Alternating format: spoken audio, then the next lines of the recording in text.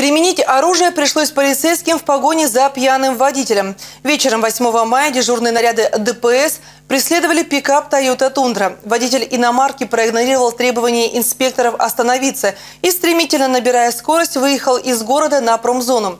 Там его и задержали. Правда, для этого полицейским пришлось несколько раз выстрелить в авто правонарушителя из стабильного оружия. Водитель, потеряв управление над автомобилем, врезался в дорожное ограждение.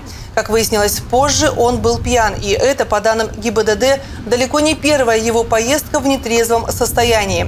Ранее он уже был лишен водительского удостоверения за пьяную езду. 21.00 э, дежурная часть ГИБДД от неизвестного гражданина поступило сообщение о том, что э, по улице Магистральной от Э, поселка НГДУХН по автодороге движется автомашина Toyota Tundra, водитель которой находится в нетрезвом состоянии. Значит, наряды ДПС, несущие службу в городе на данный момент, были ориентированы на установление данной машины. Данная машина была установлена в районе пересечения улиц магистральных энтузиастов. Значит, на требования сотрудников ДПС об остановке водитель не отреагировал, увеличил скорость Э, можно сказать, что более 200 км в час.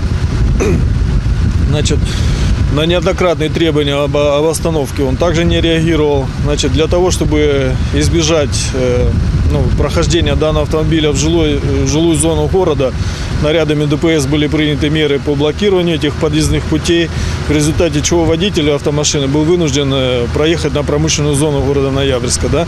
При переезде, железнодорожный переезд у нас на промзоне 216 километр, горел э, запрещающий знак семафора, то бишь шел поезд, опускался шлагбаум, водитель на этот сигнал не отреагировал, проследовал, значит, э,